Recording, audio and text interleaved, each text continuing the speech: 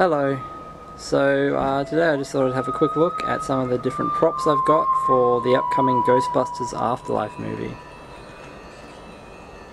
So first up I've got the EVP capture rig which is seen in the uh, International Extended trailer.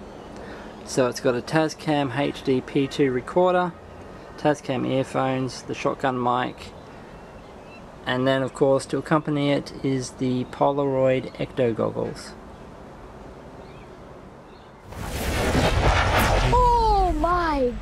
Gosh! That is the best thing I've ever seen. Next up, I've got the uh, radio controlled ghost trap.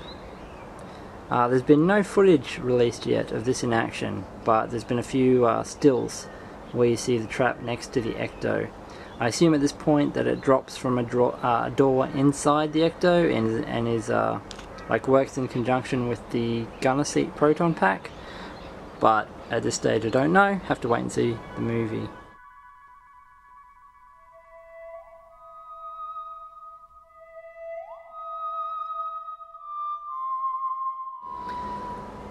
Got the Spengler wand, which is released by Hasbro. And this is my first lot of mini Puft figures. Uh, so this is a Hex 3D file. If you haven't joined Hex 3D's Patreon, do so, because he does incredible work. I've still got to do the grill set uh, and individual figures as well, but this is my first lot completed.